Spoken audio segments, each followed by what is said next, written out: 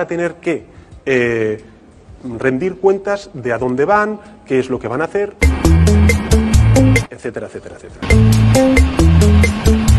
A partir de ahí, el Grupo Parlamentario Socialista siempre dijo, este es un acuerdo insuficiente, nosotros vamos a ir mucho más.